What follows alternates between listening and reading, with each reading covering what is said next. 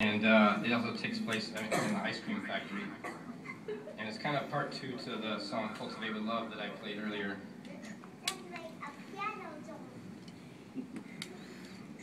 This one's called, uh, this one called? Ice Cream Factory Lightout.